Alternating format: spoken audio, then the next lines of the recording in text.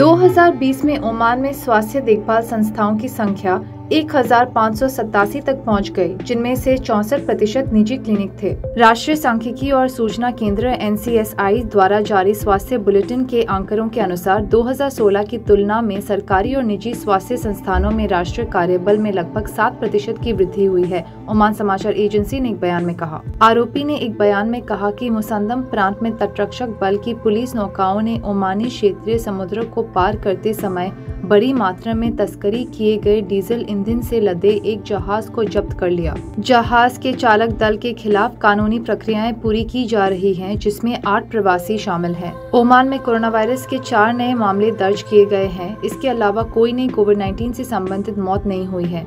यह सल्तनत में सकारात्मक कोविड 19 मामलों की कुल संख्या को तीन लाख चार हज़ार चार सौ इकतालीस लाता है।